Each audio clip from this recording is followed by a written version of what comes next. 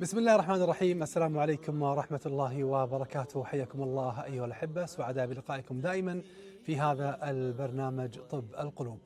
موضوع العنف ضد الأبناء أيها الأحبة من المواضيع التي يجب أن ننتبه لها لأن طبعا لها تأثير كبير على الأبناء على سلوكهم وأيضا على شخصياتهم. كل ذلك إن شاء الله وأكثر حول هذا الموضوع المهم في حوار إن شاء الله شيق مع ضيفي الفاضل لكن بعد هذه الوقفة.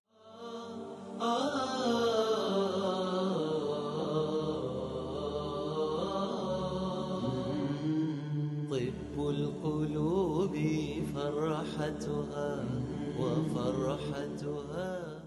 إذا أحبتنا موضوعنا اليوم في هذه الحلقة موضوع مهم وهو العنف ضد الأبناء. أرحب بضيفي الفاضل في هذه الحلقة واللي راح إن شاء الله يحدثنا عن هذا الموضوع. أرحب بالدكتور خالد عبد الكريم أطرش هو طبعا مستشار في التنمية البشرية وأيضا التطوير الإداري والأسري.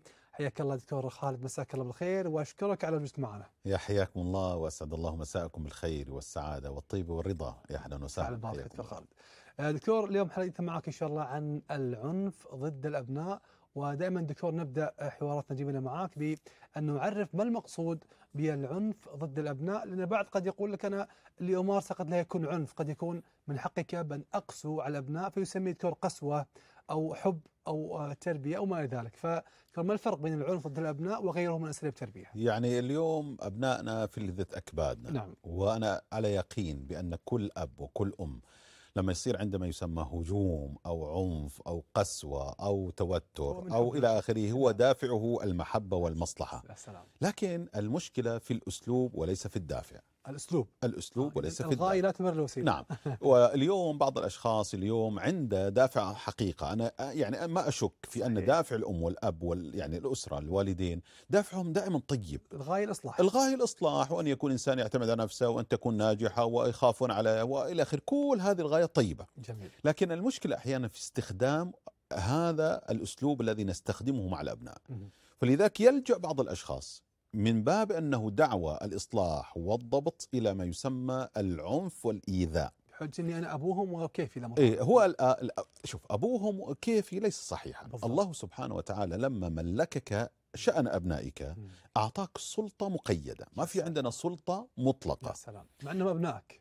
حتى لكم ما في عندنا سلطة مطلقة. ما في سلطة مطلقة إلا لله. وأن الحكم وأن الحكم إلا لله فقط. لكن باقي السلطات هي سلطات مقيدة. مضبوطة. طبعا. لا تظلم ولا تظلم. يا سلام. هذه قضية أساسية. جميل. فما في أنا اليوم أنا اللي بكيفي أسوي؟ أنا. لأني أب نعم. أنا لأني. والمشكلة دكتور أحيانا يعني ننصح بعض خلينا نقول الزملاء والاحبه في موقف معين نقول له لا. يقول لا خلي أنا أنا أنا أنا بكيفي. أنا أتصرف مثل ما أبي معه. فنسمع دكتور العبارات كثيرا آه، لما توجه أحدهم إلى سلوك كان عنيف مع مع أحد أبنائه. طيب يعني هذا خطأ أنت اليوم لما تدمر أن الله يعني شوف دمار البنيان ممكن يعمر لكن دمار الإنسان صعب أن يعمر. هذه سلام. قضية أساسية. صحيح. أنا اليوم لما أدمر أدمر الإنسان شخصيته. كيف أدمر الإنسان وبعد ذلك أبغى وأت يعني أتمنى أنه يكون شخصية وثقة ومتحدث ومتكلم وإلى آخره وأنا دمرته بيدي. جميل. نحن اليوم لا نعارض الضبط. أها. حق الآباء أن يضبطوا سلوكيات أبنائهم. جميل. لكن من حق الأبناء أنت تحافظ على ذاتهم وهذ- وهذه قضية أساسية العنف العنف قد يكون العنف اللفظي. والعنف الجسدي. والعنف الفكري نعم فأنت لما تصب جام غضبك. بكلام غير متزن بأوصاف سيئة بأحيانا بخطأ يدوي باليد في العنف الجسدي. أنت اليوم بالصراخ بالزف بالشتائم بالتشبيه بالحيوانات آه،. كل هذا هذا يسمى اليوم ال- تمارس العنف على أبنائك هذا العنف. أنت اليوم بممارستك ممارستك هذا العنف تعطي صورة سلبية للأبناء بأنهم هذا هو العنف وهذه هي السلطة. طيب هذا سوف ينعكس على معاملتهم فيما بينهم وعلى أبناء آه، الأبناء. جميل. ولذلك اليوم العنف من أخطر الأشياء التي تمارسها. الفرق كبير جدا بين ضبط سلوكيات الأبناء جميل. وبين العنف تجاه الأبناء. يا سلام. الفرق كبير. ممتاز. ما هو الفرق؟ أنا اليوم أضبط السلوكيات مطلوب. نعم. وأمانة وكلكم راع وكلكم مسؤول عن رعيته. مسؤولية لا شك. نعم. ولذلك النبي عليه الصلاة والسلام علمنا أن نضبط سلوكيات أبنائنا مم. مروا أبنائكم بالصلاة وهم أبناء سبع. نعم. واضربوهم عليهم أبناء عشر إذا ضبط للسلوكيات. يا سلام. لكن النبي عليه الصلاة والسلام. ما أمرنا وما أجاز لنا أن ندمر الإنسان. يعني بمعنى ما يحق للإنسان أن أصف أبنائي بصفات سيئة. صحيح. أنا اليوم عندي المحافظة على الفاعل وإصلاح الفعل. مرة ثانية. جميل. المحافظة على الشخص على هذا ولدي. هذا ابني هذا زوجي هذه زوجتي هذه خلينا نقول أخي. المحافظة عليه. يا سلام. وإصلاح الفعل. المشكلة أنا بيني وبين الآخرين هو فعله وليس ذاته. أحسنت. والإسلام جاء صحيح. ليس ليدمر الناس إنما ليغير سلوكيات الناس. جميل. إذا قال لا إله إلا الله مع أنه عفوا فعل أحياء الأفاعيل الإسلام يجب ما قبله. كفرت انصر أخاك ظالما أو مظلوما. بفعله بشخصه. نعم. نعم. قالوا كيف ننصر؟ مظلوم عرفناها بس. ظالم. قال أنت كف. يا سلام. ما ما تساعد على الظلم ما تعينه. إذا الفكرة الأساسية الفرق بين الضبط للأبناء وهو أمر. مطلوب ومكلف فيه وبين العنف تجاه الأبناء نعم. أن العنف ينصب دائما على ذات الأبناء على شخصية الأبناء على كيان الأبناء على وجود الأبناء. هنا الخطر. أيوة هنا الخطأ لكن الضبط هو على السلوكيات أنا اليوم مثال. عندك المثال ثلاث ساعات خلينا نقول تلعب. okay لعب. تجاوز اللعب. okay خلاص أنا اليوم راح أسحب منك هذا هذا الجهاز. جميل. اليوم ضبطتك. نعم.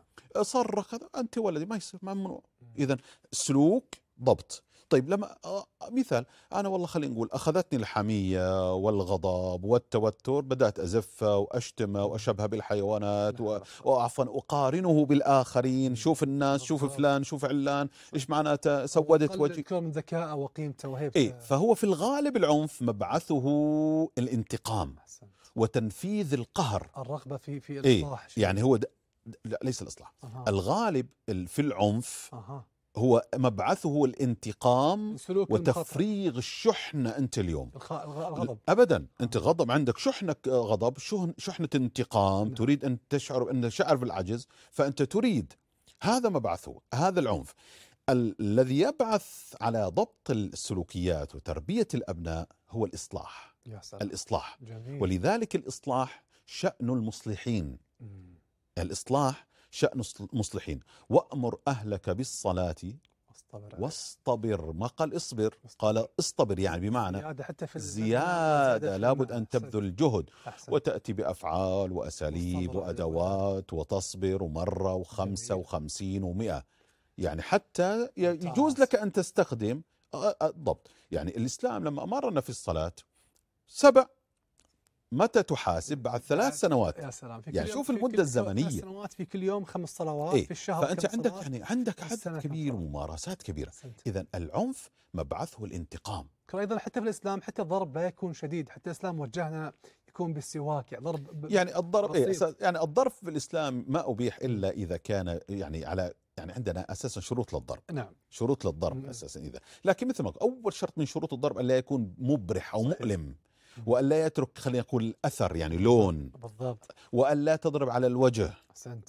والا تضرب وأنت غضبان. يا سلام حتى تعرف ماذا تفعل صحيح. اي أنت غضبان لأن ما تضرب وأنت غضبان هذا انتقام. صحيح. أنت وأن تضرب بمقدار الخطأ. صحيح. وأن تضرب على متعمد مش ناسي. يا سلام. يعني والله أقول لك ناسي. إيه لا. خلاص ناسي. انتهى. انتهى. صحيح. وان تض- ين تضرب على شيء متذكره ومش يعني يعني هي قضية. شو خالد؟ فعلا يعني ما شاء الله عليك أثرت يعني نقطة جدا مهمة وفيصلية في كل هالجانب دكتور خالد وهي يعني قد تخفى على الكثيرين أنك تفرق بين آه، الشخصية والإنسان والسلوك، أنت نعم. نقدك موجه لحدث معين لسلوك السلوك. معين. وهذا كله إذا طبقناها سوف يعني فعلا نسهم إن شاء الله في يعني دائما أنا أسأل هذا ولدي هذا حبيبي بالضبط. هذا زوجي هذه زوجتي هذا. ولد. صحيح. طيب اليوم أنا اليوم هذا السلوك عنده خطأ. بالضبط. أنا أريده أحسنت. لكن السلوك هذا خطأ. أسأل نفسي إذا كنت أعرف كيف ما هو المفتاح الذي ممكن لأن أؤثر على هذا الشخص؟ ما هي الضوابط؟ كيف أضبطه؟ كيف أغيره؟ التدرج في التغيير التدرج في الضبط. هذه قضية. إذا ما كنت أعرف ألجأ مرة ثانية وأشدد. ألجأ إلى أهل أهل الذكر. يا سلام. فاسألوا أهل الذكر إن. كنتم لا تعلمون. صحيح. الاختصاصيين إذا هي قضية أسأل كيف عندي هذه الحالة وأنا خلينا نقول عجزت. نعم. كيف؟ دلني. النبي عليه الصلاة والسلام كان يقول. أشيروا علي. أيها الناس. صحيح. هي قضية أساسية. نعم. فحتى الإنسان يصلح لابد أن يفرق وأن تصل رسالة بأنك يا ولدي أنا اليوم أنت ولدي. حبيبي لكن سلوكك هذا خطأ آه، سلوك. لازم يتغير. أفرق بين الشخص يا ولا. مش أفرق أنا شوف لا أفرق أنا مم. فقط أفرق وهو يعلم. يعني بمعنى أرسل رسالة واضحة صريحة مش تلميح يا سلام أنا لا أنت يا ولدي حبيبي تعال يا ولد أها. تعال يا حبيبي نعم. تعال يا ولد أنت اليوم أحبك وأنت. ولدي يا سلام لكن هذا السلوك غلط يا لازم نغيره جميل أنت لأنه لازم يفهم إنه أنت مو كارهة. الانتقام من البدايه لشخص وغب وت... لا أنا حتى أنا أنا في النهاية أريد أن أصلح فاعل. ما لا أريد. أن أدمر. لا لا أريد أن أدمر فاعل. هي. قضية أساسية. فأنا يعني مثل الواحد يبي يكحلق مع ما عمل الإنسان. فهذا ما ينفع. بالضبط. نعم. طيب دكتور كيف أعرف أن يعني إذا كان عندي آه، سابقا آه، سلوك كان في عنف ضد الأبناء كيف أعرف أن هناك أثر دكتور يعني سلبي عليهم؟ آه، على. علامات؟ بالضبط. يعني كيف يعرف الشخص الطفل إذا كان في علامات عنف عليه في شخصيته ظاهرة دكتور خالد والله شوف أحيانا العنف على الأبناء أو الزوج أو الزوجة. آه أيضا. إيه.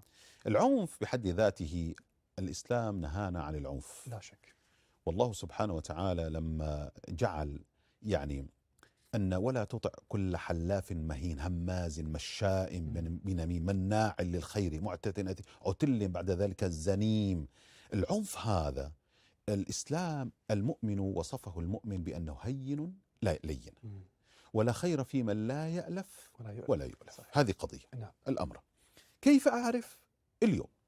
لما أجد أبنائي اليوم لا يجلسون معي في غرفة في الصالة ينزوي ينسحب لازم أسأل نفسي ليش هذا؟ يا سلام. زوجة أو زوجتي. اليوم عندنا البعد قد نجتمع في الصالة لكن كل واحد ماسك تليفونه. بالضبط. كل واحدة وهذا ال- وهذا حاصل كثير. وهذا حاصل. صحيح. وهذا أخطر الخطر. نعم. يعني اليوم نحن اليوم يجب أن يكون عندنا شيء من العلاج لهذا الانتشار من الداء المرض الحين ممكن مو شايفينه أو مو حاسين فيه.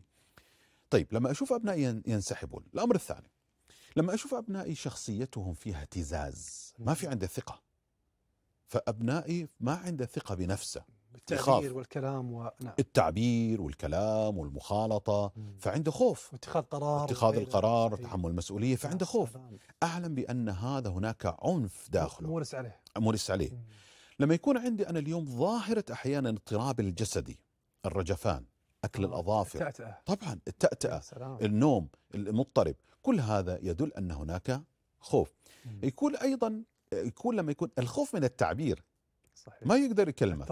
ما يقدر يع- أوكي حاضر يبا أبشر يبا طال عمرك. تزفه ساكت. طبعا لما تزفة وساكت وحاضر كذا. أنت اليوم ما قاعد تأخذ منه شيء. يا سلام. فأنت اليوم قاعد تدمر. آه، تدخل على قلب. تدمر على شخصية شخصية الانسان لما تشعر أن هذا الولد هذا الولد. أنت اليوم اللي أنت قاعد تتهجم عليه أحيانا ينعكس تماما. بدل الانزواء يصير عنده الهروب يا سلام. مع ربعه. دكتور أيضا بعضهم دكتور يمارس نفس الدور على أخوانه. راح أجي. نعم. أحيانا العكس تماما. مم. يبدأ يتمرد. ويصارخ ويضرب حتى ويرد آه.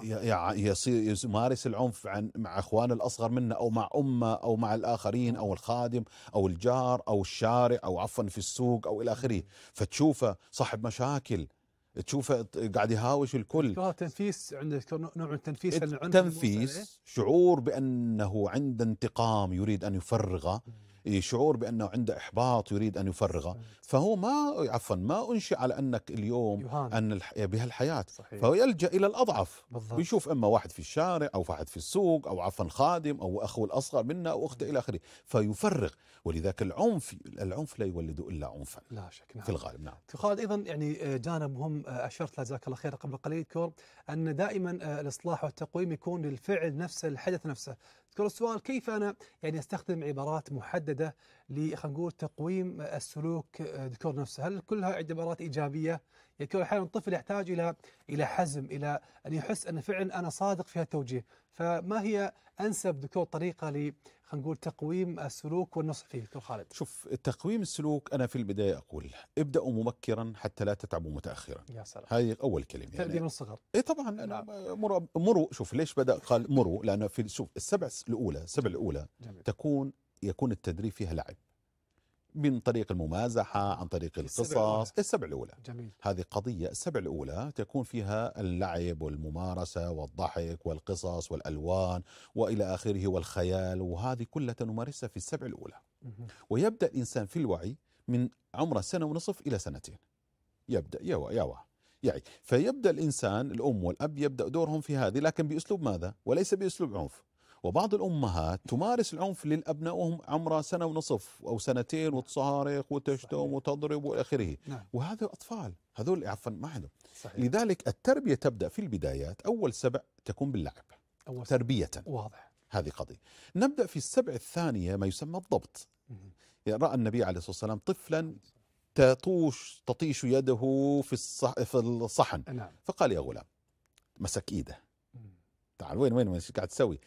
سم الله. أنا شفتك ما ما سميت بال... ما قلت بسم الله. سم الله.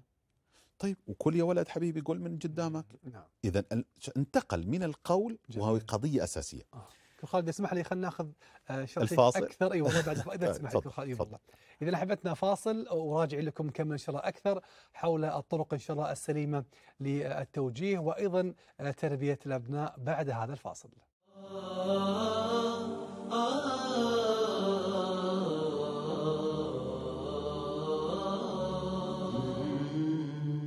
طب القلوب فرحتها وفرحتها رجعنا معاكم من جديد أحبتنا في هذا الحوار عن طريقة تربية الأبناء والابتعاد دائما عن الأمر الخطير وهو طبعا العنف الذي يهدم شخصيات الأبناء وهو طبعا أمر جدا خطير.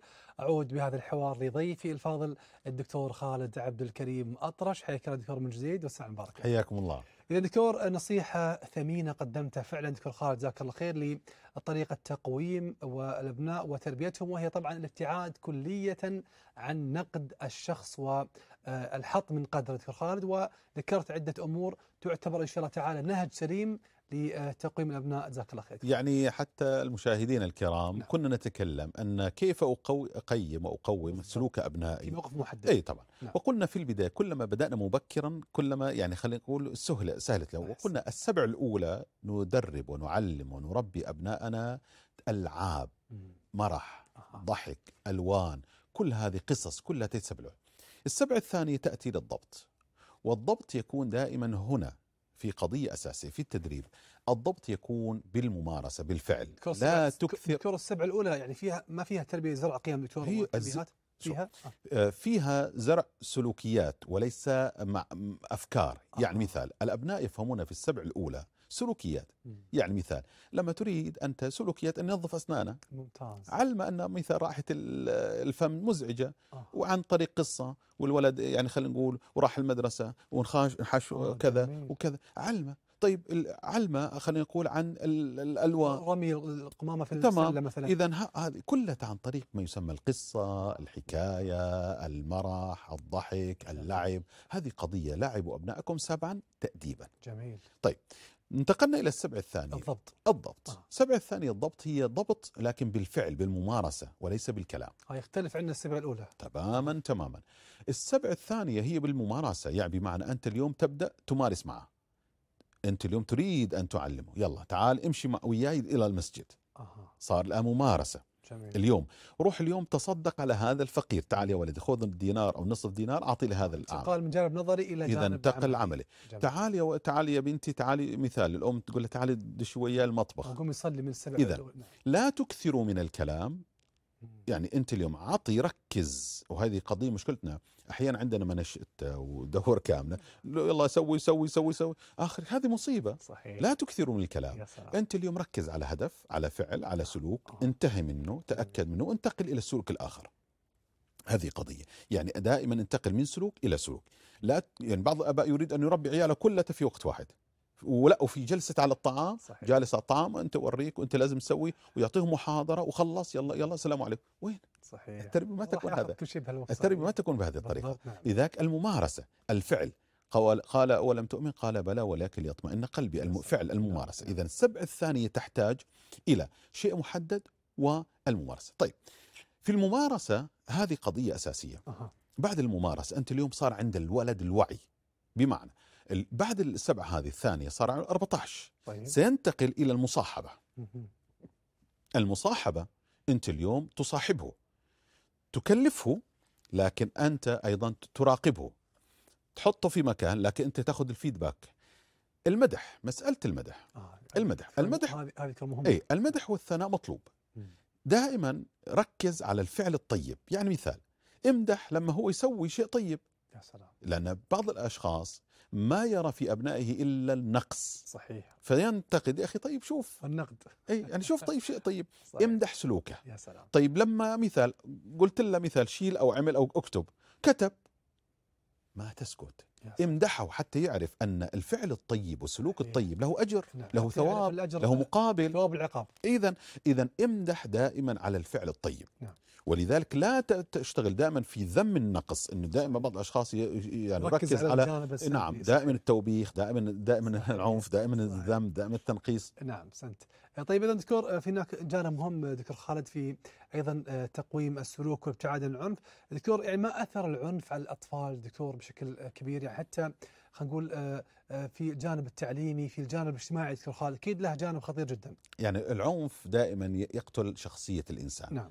والعنف يولد يعني وينشئ أشخاص ليسوا أسوياء. طبعا بعض الأشخاص نسمعهم اليوم. أنا والله انضربنا وانشتمنا إن وآبائنا وما مع صابنا إنهم في كبار في السن. أيوه كبار في السن وما فهموا اكو في. مين قال ما, ما في شيء؟ اي نعم. أنت اليوم يعني من جعلك أنت المقياس. نعم. بعدين لماذا لا نؤمن بأن اختلاف الزمان؟ صحيح. اليوم اختلاف الزمان أولادنا اليوم يختلطون مع مجتمعات مع عالم عندهم عالم كبير. أنت بعدين حتى تعرف قضية أساسية. أبنائنا اليوم بعد سنة سنتين مكتفين ماليا. أها. وهذا بعض الأشخاص ما يدرك. يعني انت بعدين منفتحين عالميا. انت اليوم عالم كلها أنت ما كنت تعرف فوق يعني ما كنا نعرف فوق عفوا فريجنا بس يعني آه كذا. وكنا بحاجة الآب. اذا هي القضية أساسية. ما تقس الزمان لكل زمان يعني حتى سيدنا علي رضي الله عنه يقول صحيح. يعني فإن ابنائكم خلقوا لزمان غير زمانكم. خالد مرات نشوف يعني آه، أطفال يعني آه، يمارس عليهم العنف حتى في أماكن عامة دكتور آه يعني حتى قدام الناس والله نشوفهم بعضهم أيضا يصورهم للأسف الشديد يعني تجد حتى في مواقع التواصل مشاهد دكتور يعني فعلا آه، والله خطيرة صراحة. والله يعني أنا أدعو من هذا المكان لو عندنا قانون يجرم هذا الفعل.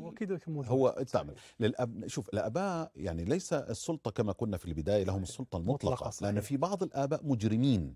وأنا أقصد ما أقول مجرمين بالانتقام مجرمين بالضرب مجرمين هو بالعنف مجرمين ضحية. قد بالاهمال يكون ضحيه سابقة. إيه قد مجرمين. طبعا هو مجرم. واحيانا عفوا خلاف بينه وبين طليقته يروح يطلع على أبنائه. الإجرام أحيانا من بعض الآباء وأقصد الأمهات والآباء نعم. اليوم الإجرام موجود لابد أن يكون هناك قانون. ضحية أنت ضحية. لما عفوا تأتي وتضرب ابنك أو مم. تشتم ابنك أو صحيح. تزف ابنك أو تفضح ابنك على. العلن قدام الناس صحيح. إيش تتوقع أن تكون شخصيته هذه. طب أنا راح أسألك سؤال أنت اليوم قدام ربعك وإخوانك صحيح. وزفيته وبهدلته وأنت فيك ونعي. هذا بعد 20 سنة هل يذكر ينسى هؤلاء؟ ما ينسون. وهذا السؤال ماذا عن شخصية دكتور المعنف؟ يعني كيف لذلك تكون بينك؟ عفوا أنت اليوم أنا بيني وبين ولدي مشكلة. أها. امدح أبنائك على العلن أحسنت. وحاسبهم في السر. يا سلام. وهذه قضية يجب أن ندركها. صحيح. اليوم المدح على العلن. لكن في المحاسبة السر ما ينفع أن يكون على على ملأ الناس. من هذول الناس أساسا. صحيح. الناس لا تنسى.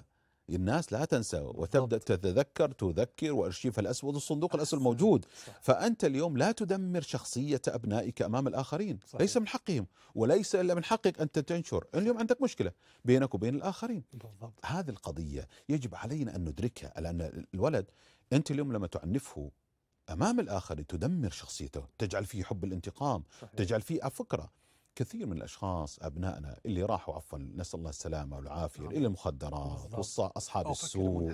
أو الانحراف أو. إلى آخره نتيجة أن الدمار الداخلي يريد أن يبحث عن خلاص يمارس عليه أظهر إيه ويريد أن يبحث عن خلاص فيشوف له صديق يمدحه يعرف عقله يجي على عقله يعرفه.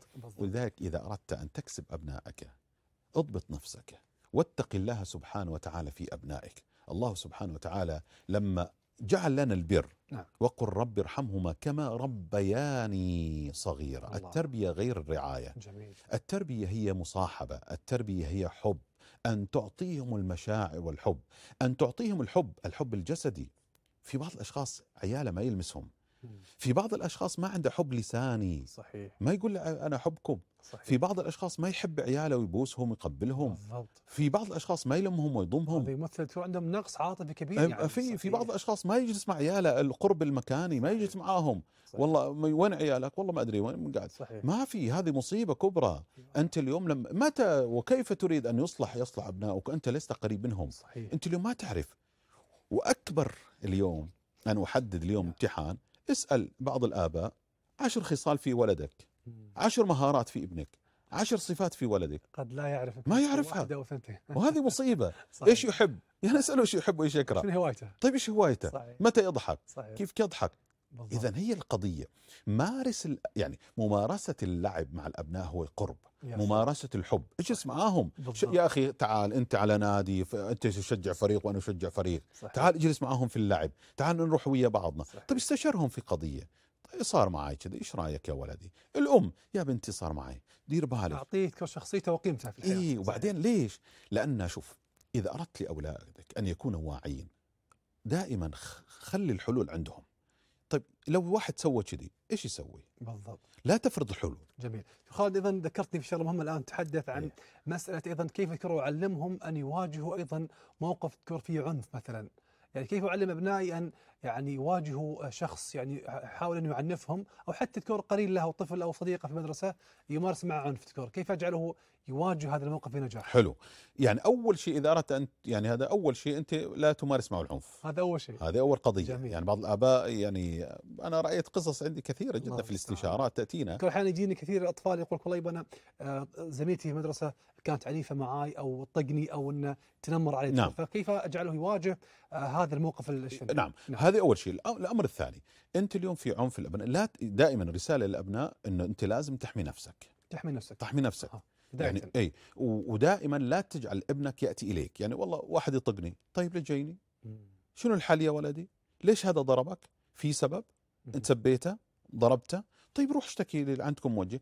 أعطي خيار. قول يا ولدي عندنا خيارات. ممتاز. وهذه قضية. ممتاز. نحن لا نريد أن نمارس أو أن نشيع العنف وهذا منتشر اليوم. نعم. يعني أول رسالة أول رسالة لما يجي الولد طقني إيش نقول نقول له طقه هذا آه، هذا- آه، هذه خطأ ضربني اضربه. هذا مو صحيح ممتاز. هذا عفوا انشاءة عنف وتعليم على العنف. وجرائم بعد ذلك لأنها و- ثقافة منتشرة للأسف وهذه فينا. قضية اليوم لما لأن الولد ما يدرك يعني أنا اليوم. الولد تعلم إنه يضرب الآخرين نعم.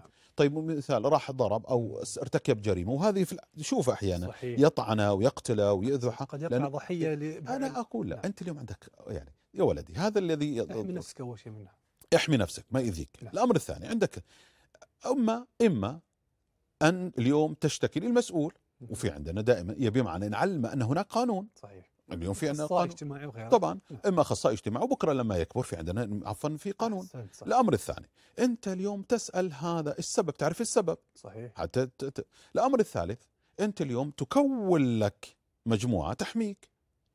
الأمر الرابع ممكن أنت اليوم أنت تضرب ويا صحبة عشان تسخره عندك يصير معاك أحسن ما يكون عليك. أيوه. الأمر الخامس ممكن أنت اليوم تمنعه تمسكه مش تضربه. آه. الأمر السادس إذا وجدت انه ما في حل أيوة. ممكن تضربه بمقدار ما يضربك بس تحمل أثر الضرب. ليش أقول هذه الخمسة أو ست أشياء؟ مهم. لأن الولد لازم يكون عنده من الوعي. هنا أضرب هنا ما أضرب يا سلام. هنا أنسحب. هنا أروح أشتكي. آه، دكتور لاحظك ما شاء الله تركز كثيرا حتى على آه، شخصية الطفل دكتور يعني كلها أمور متعلقة طبعا لأنه لازم يكون شيء بحوار وشخصيته. طبعا لأنه ما يصير أدفع أنا للولد أنا أعطيه خيار بس العنف. طيب هناك طيب راح سوى عنف وأذى نفسه وأذى الآخر وأنا عندي قصص كثيرة. الأب يعني مثال من فترة ولد آه، طلعوا له بعض الشباب حسبالنا فهجم عليهم فقتلوه طعنوه مات الولد. القضية لأنه كان عنده العنف ما علمه يا ولدي إذا شفت ثلاثة انسحب.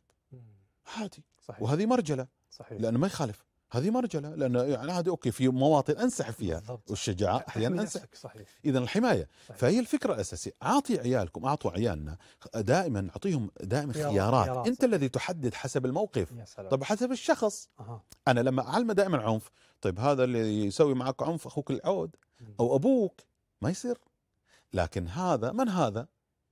طيب كيف أتحايل عليه؟ صح. هذا ممكن أنا أحتاج أنا صاحبه صحيح. ممكن هذا. طيب معلمي خلينا نكون كمثال. جميل. معلم إذا هذه القضية علموا عيالنا دائما نحط قدامهم خيارات عشان يكون صحيح. هو القرار عنده. إذا دكتور خالد فعلا حديث كان معك ممتع حول موضوعنا اليوم وهو عن العنف ضد الأبناء. لكن نقول في الختام آه، كل الشكر لك وفعلا كانت حلقة ممتعة معك وحديث شيق كما عودتنا دائما. دكتور خالد الله يسعدكم. حياكم الله. ويبارك فيكم. حياكم كل الشكر لك. أيضا الشكر موصول لكم احبتنا لهذه المتابعة وكانت حلقة عن العنف ضد الأبناء وكيفية إن شاء الله معالجه هذا الجانب. إن شاء الله تكونون استفدتم من الحلقة وإن شاء الله تعالى لقاءنا فيكم يتجدد في حلقة مقبلة. نقول لكم في أمان الله ومع السلامة.